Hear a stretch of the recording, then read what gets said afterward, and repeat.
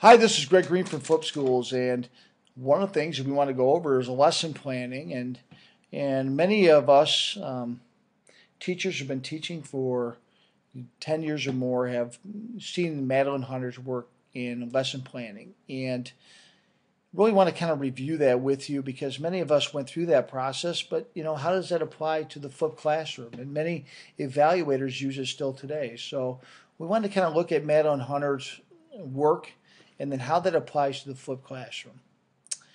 Well, one of the things that Madeline Hunter says is that there's eight different things that go into a lesson, and there's the objective, there's you know getting students ready, there's you know we're stating the learning objectives so students know exactly what's to be expected. We identify and teach the main objective, and then we check for understanding.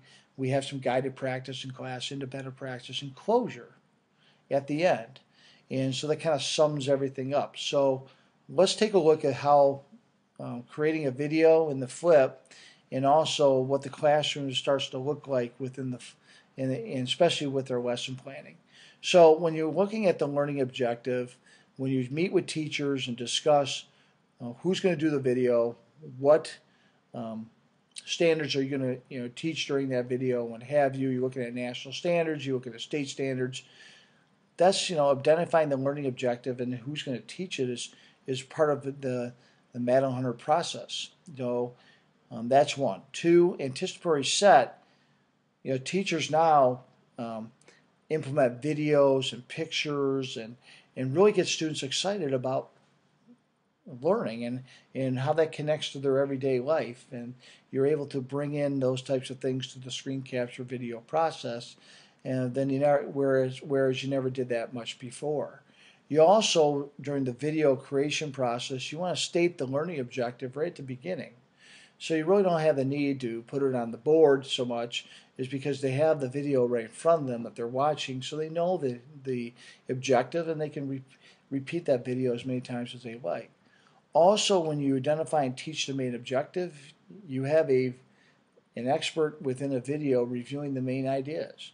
And the greatest thing is you can go beyond your school and get as much expertise as you need. And so you really have an expert individual reviewing content. And like I said before, uh, you can repeat that video as many times as you need. The other thing is the classroom. The classroom itself is really so you've looked at four different things already just with the video creation process. So now when you want to check for understanding, that's where the classroom begins.